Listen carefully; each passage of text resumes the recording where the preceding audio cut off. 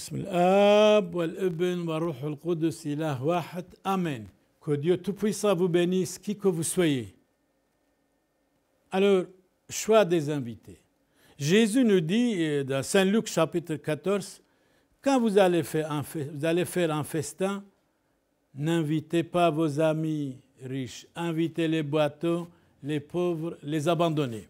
Et effectivement, quand nous pensons à cela, on dirait on n'est pas chrétien, on n'écoute pas la parole de Christ.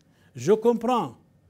Les pauvres, les handicapés du passé au temps de Christ, ils avaient la foi, ils étaient chrétiens, ils avaient la dignité, ils ne volaient pas, ils n'étaient pas alcooliques, ils n'étaient pas drogués. Aujourd'hui, si vous invitez les pauvres, franchement, j'aime beaucoup les pauvres, si vous invitez une dizaine de pauvres, il y aura de bagarres dans le festin. Et là, vous allez appeler la police et ça y est, c'est la fin du monde. Donc, de temps en temps, on est obligé, on est obligé des invités, des hommes et des femmes qui sont vraiment choisis, qui sont tellement polis, civilisés, courtois, hommes et femmes.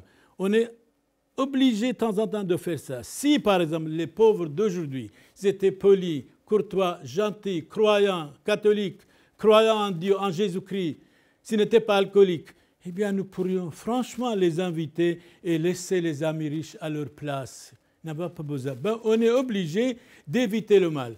Qui n'empêche pas le mal, le favoriser.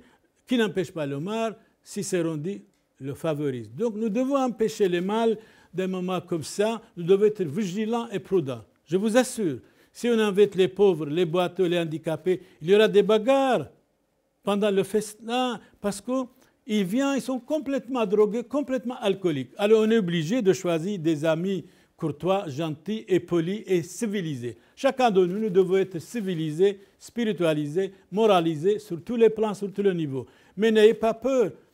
N'ayez pas peur de ne pas inviter n'importe qui, parce que vous évitez le mal. Et nous devons éviter le mal. Nous devons éviter le scandale. Ou quand nous faisons un festin, évitez, invitez quelques personnes, pas beaucoup. Et ne gaspillez pas votre bien, ça ne sert à rien. Même les gens riches que vous invitez demain, ils deviendront vos ennemis. Alors que faire? Nous sommes devant un dilemme.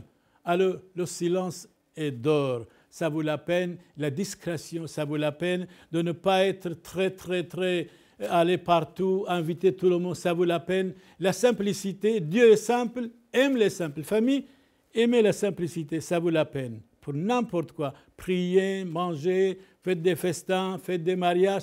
La simplicité, ça vaut la peine. Surtout, surtout, soyons simples. Dieu vous aime. Qui que vous soyez. Amen.